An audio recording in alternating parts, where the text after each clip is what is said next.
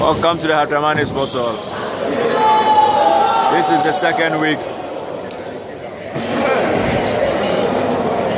of the second round of the Ghana Table Tennis League.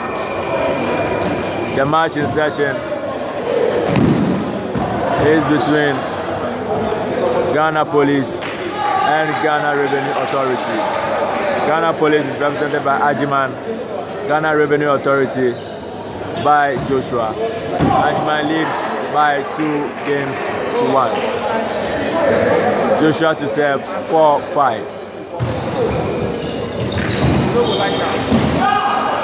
Five points all. Agyemang of Ghana Police to serve. Five points all. Aluba Agyemang, which fails to land. Agyemang is one of a few players who has anti-spin rubbers on his backhand. Plays an anti-spin rubber on his backhand. A good look by Agyemang, which is blocked by Joshua. Joshua leads by seven points to five. He serves.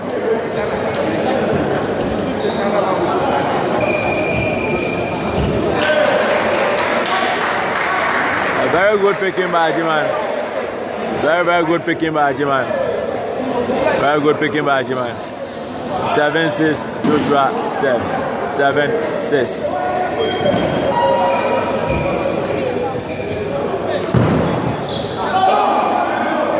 Good serve. Very, very good serve by Joshua. 6 8 Agyemang to serve. 6 points to 8 Agyemang to serve. 6 points to 9 Agyemang serves.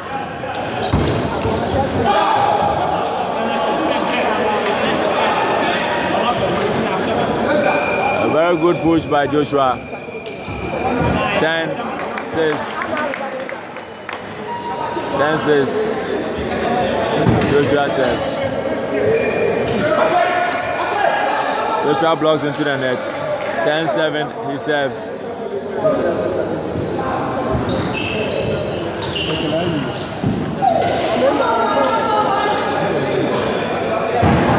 Eight, ten.